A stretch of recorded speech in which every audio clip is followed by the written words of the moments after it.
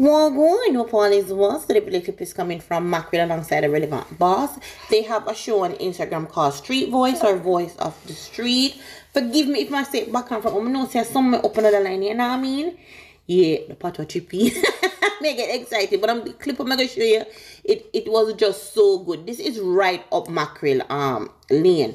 Not because she's a teenage mom, but me talk about the hosting. Even when she got on mom what spice your name with Magnum? Once I get mackerel for tag, when she when she going to the core hosting element there, it just really, really something to watch and listen to. So if you're looking for something authentic, realistic, and relatable, then you can get them and watch on um, Instagram. It was really, really, really, really good. Somebody start get to the snippet so you can earphone yourself a mackerel have to say. That, that specifically what we're talking about. We don't want to, to include the other thing. What do you think is the reason why so much young females choose to engage in unprotected sex and become a teenage mother? Give me your reasons, mackerel. I ah, let me answer. Let, let me think. Let me answer that for you. What I think is that relevant. Just say some of these young girls, young girls, will lack a love. Mm. We say it's true, we lack a love. Say in our mindset, we feel like so when we go out there and a boy tell we say, oh, you know, some love you, are true mother not tell we, a true father not tell we, or whatever. So what if we seek love from man? Right. So the thing is that we them we're not getting attention from our parents them, but yet still you have a little boyfriend where get that attention with and you in a your mindset and, that you call love because you not get a hug, you not get a kiss. But remember as a little young girl, you know some of them, you know say one thing I go lead to a next thing and lead to a next thing and cause cause teenage pregnancy, cause that Okay. Because everybody that for training and set yourself relevant, you see a period now, and this and that and that are gonna happen. No, some some of we young girls not have nobody for tell with that. So I have look a boyfriend where I say, come now give me a hug, yeah, like look a hug, kind of hug feel good.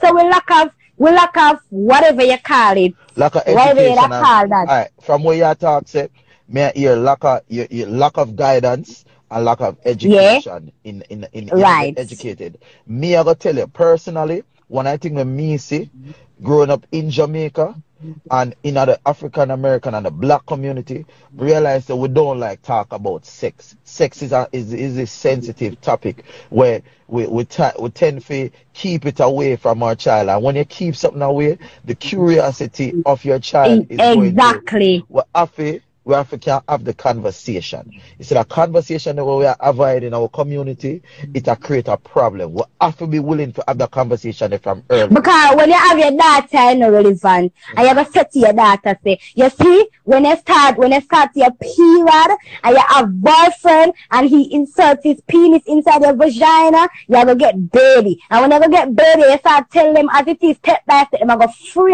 for do it. Right. But when you let them in the house, close them in the house, and whatever, hide from them that are gonna make them want go out and see what the world is all about. When, when, I, when you have to tell them as how it is because remember come them are coming you know, and I go them are going you know. Yeah. Remember at the end of the day them are gonna go up and them are go out, them are gonna have sex and them are gonna say some mother that uh, this for them are go them them are just are go and go out the way and do things. So I think we can I think we can agree say the, the, the lack of dialogue, it a, it a, it a create the curiosity. The curiosity where you see um so much kids have towards um engaging in unprotected sex, it has stem a lot of it is stemming from curiosity. When you not have the conversation, it push them out there go figure it out by themselves. Meanwhile, if you did teach them or educate them, maybe them wouldn't have to do that.